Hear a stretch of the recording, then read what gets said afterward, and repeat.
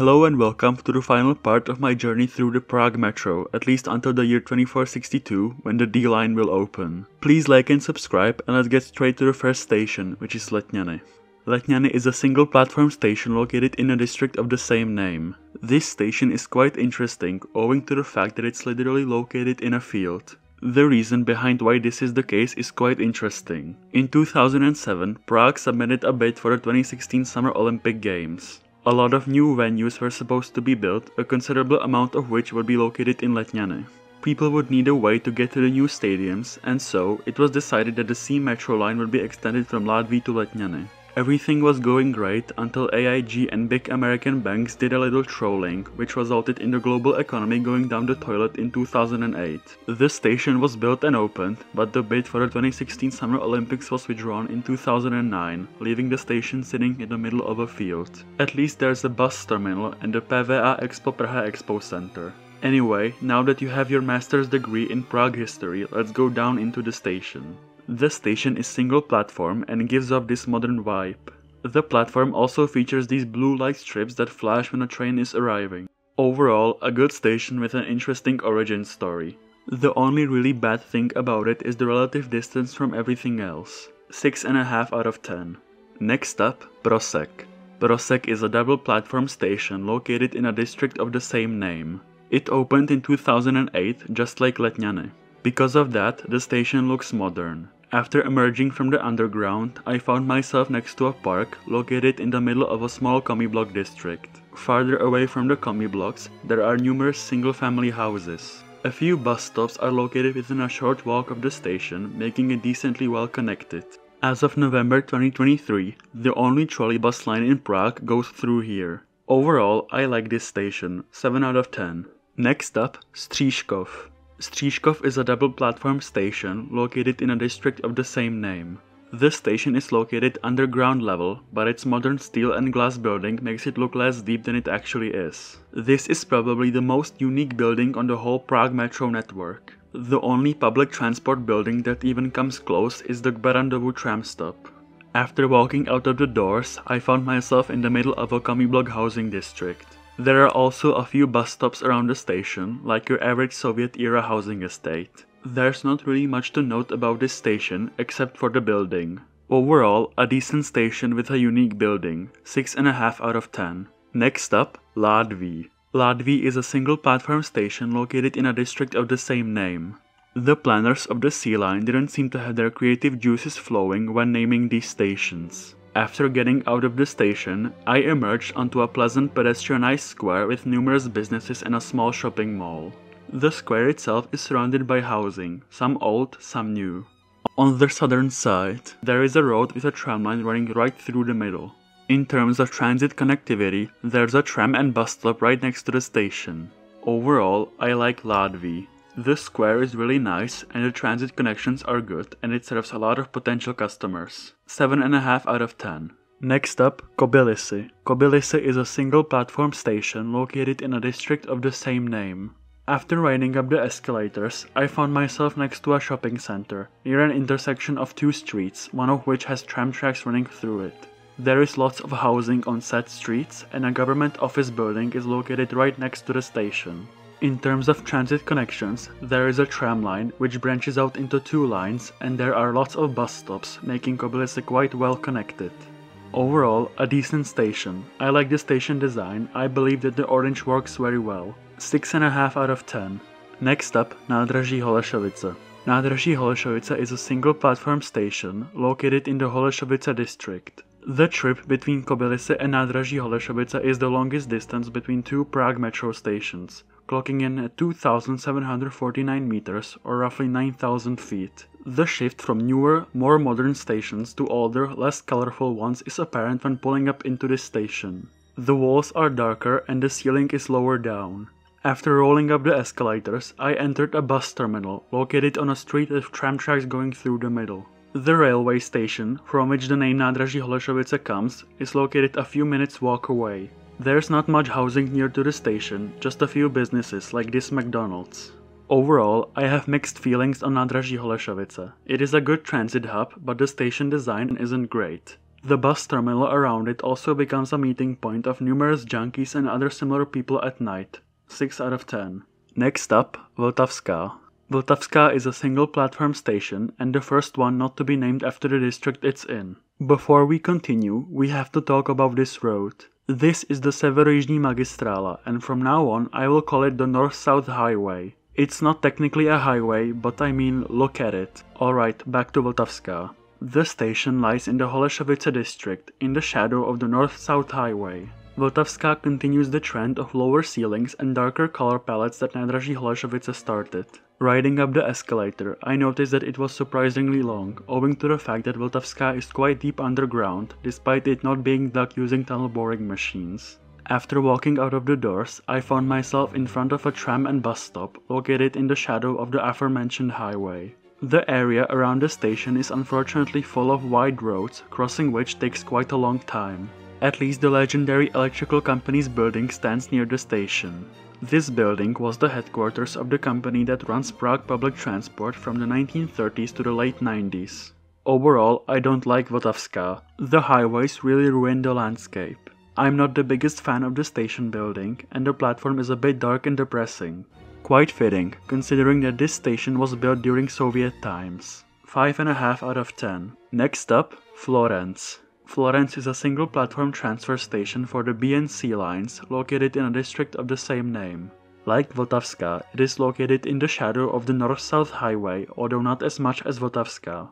After walking out of the station, I found myself at an intersection of two pretty wide roads in front of some mid-rise buildings, both old and new. Like previously mentioned, the north-south highway looms over the landscape. Near the eastern exits, there's the Florenc bus terminal, a large hub for long-distance bus lines. In terms of transit connections, there are the aforementioned long-distance buses, but there's also the B metro line and a tram and bus stop. Overall, I don't really like Florenc either. The wide roads and the freeway above makes it a really unpleasant place to be, and the station building doesn't help either. 6 out of 10. Next up, Hlavní nádraží. Hlavní nádraží is a double platform station located under the Prague main train station. It's one of two Prague metro stations located directly under train stations, the other one being Smíchovské nádraží on the B line. After walking up the stairs or escalators, I found myself in the station building. From there, I could have gone to the platforms, which are about a 2 to 3 minute walk away. Alternatively, I could have walked out of the station into the Vrchlického sady park, better known as Sherwood. The park is known as Sherwood because of the strange people that hang out there at night. Hlavní nádraží was the first station to be constructed, originally planned as a station for an underground tram before the line was converted into a true heavy metro. Because of that, the station is double platform compared to almost all of the original stations of the C metro line, which are all single platform with the exception of Vyšehrad. In terms of transit connections, Hlavní nádraží is connected to the main train station, there's a few tram stops a few minutes walk away from the station, and there's a bus stop in the top part. Overall, I find Hlavní nádraží to be an okay station. Not my favorite, but I respect the connection to the train station. 6.5 out of 10. Next up, Muzeum. Muzeum is a single platform transfer station for the A and C lines located on the top of Wenceslas Square in the city center of Prague. It's one of two stations located on Wenceslas Square, the other being Můstek on the A and B lines. The station has numerous exits, most of which end up near the statue of Saint Wenceslas on the square. However, the one I use dumps you next to the National Museum and in front of our old friend, a branch of the North-South Highway. The highway splits in two around the National Museum for some bizarre reason. The highway continues like this up to the Nusle Bridge, where it connects back together. In terms of transit connections, there's the A metro line and a tram stop a few minutes walk away. There's also the B metro line, which is slightly farther away, but still easily reachable on foot. Overall, Muzeum isn't one of my favorite stations, but it's far from the worst. Although the branch of the aforementioned freeway makes it lose points. 6 out of 10. Next up, IP Pavlova. IP Pavlova is a single platform station located in the New Town district. It is named after Ivan Petrovich Pavlov, a Russian neurologist and physiologist. After walking out of the station, I stood next to a massive intersection featuring both branches of the north-south highway, so overall a definitely super quiet, pleasant place to be.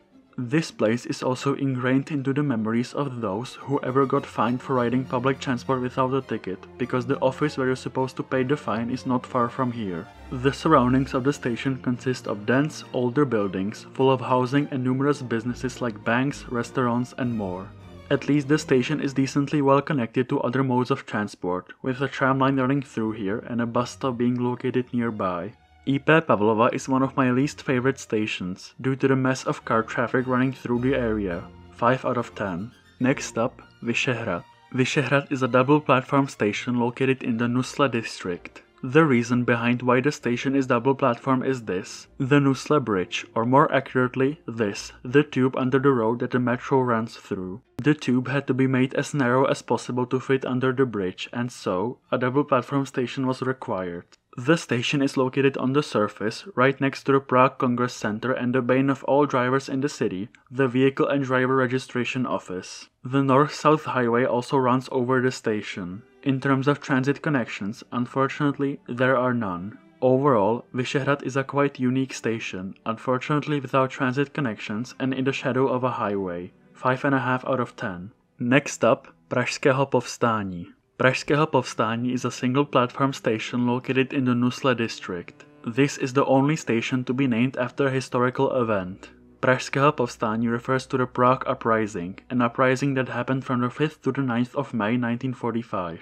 Basically, the Czech people rose up against German occupiers, ensuring the liberation of Prague and the rest of Czechoslovakia. Back to the station, there are pretty wide roads in the front and a tram line which runs to Pankrác. The station is surrounded by office and commercial developments, plus some housing. The most important building nearby is the Ministry of the Interior, located right next to one of the exits. After walking out of the station, I emerged near a small shopping center and the Ministry of the Interior building. In terms of transit connections, there's the aforementioned tram line and there are also multiple bus stops. Overall, Pražského povstání is an okay station. Not the best, but not the worst. 6 out of 10. Next up, Pankrác. Pankrác is a single platform station located in a district of the same name. The station is located in a Soviet era housing district, but lately, new, modern office buildings have been springing up. The most notable symbol of this new era of Pankrác is the Arkady Pankrác shopping mall, which has a direct entrance to the metro station. After getting out of the station, I walked out in front of the Arkady Pankrác shopping mall next to a wide road. In regards to transit connections, there's a bus stop and the terminus of a tram line, which was opened in 2021 in preparation for the temporary closure of the Pankrác metro station. This is due to the fact that Pankrác will become a transfer station for the C and D metro lines in the future, so it will have to be temporarily closed for construction. Overall, the surroundings of Pankrác are quite nicely developed and the station is decently well connected as well, 6.5 out of 10. Next up, Budějovická. Budějovická is a single platform station located in the Krč district. It is located in the middle of a shopping center, the centerpiece of which is the OCDBK Mall. There's also a big communist era housing estate and some single family houses. In terms of additional transit, there's a bus stop right next to the station. Other than that, there's not really much to say about the station. I'm giving it a 6 out of 10. Next up, Kačerov. Kačerov is a single platform station located on the border of the Krč and Michle districts. The station sits right under a bus terminal, near some multi-family houses, a commie block housing estate, and the Praha Kačerov train station. A notable thing about the station is that Kačerov was the last station of the original segment of the C line, which was opened in 1974.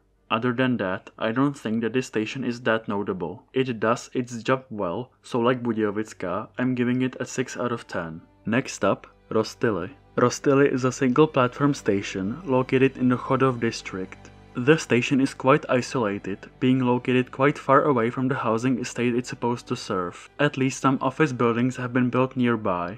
In terms of transit connectivity, there's a small bus terminal right in front of the station. One thing I find interesting about Roztyly is the design of the platform. It gives off a dark, minimalist vibe, typical for buildings of the 1970s and 1980s Eastern Bloc. Other than that, there's nothing much to Roztyly. 6 out of 10. Next up, Chodov.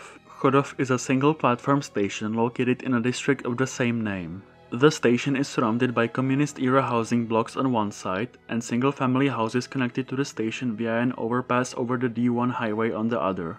The centerpiece of development around the Chodov metro station is the Westfield Chodov shopping mall. With over 300 stores, it is the largest shopping mall in the Czech Republic by number of stores. Westfield Chodov is truly a cathedral of consumption, with three floors of shops and three floors of parking. Chodov is connected to the rest of the transit network by a bus station located right next to it. Overall, a decent station, 6.5 out of 10. Next up, Opatov. Opatov is a single platform station located in the Chodov district. After emerging from the station, I walked through a small shopping area and I found myself in Centrální Park, a big park, most likely named after Central Park in New York. In terms of transit connectivity, there's a bus station. Overall, Opatov is an unremarkable station, 6 out of 10. And now, the last station, Háje. Háje is a single platform station located in a district of the same name. After emerging from the station, I felt like I got transported into the year 1986. Ignoring the western brands, the shopping area and housing estate that surround the station look like they haven't moved on from the late 80s. The tallest commie block of the city is also located here. The building, named Kupa, is 22 stories tall. It's connected to another tall commie block with a bridge leading from the top floor. In terms of transit connectivity, there are some bus stops near the metro station. Overall, I'm giving Háje a 6.5 out of 10 for the density around the station. Alright, this concludes my journey through the Prague metro, at least until like 400 years later when the D line opens. I hope that you've enjoyed this series, please leave a like and subscribe and I'll see you next time. Bye!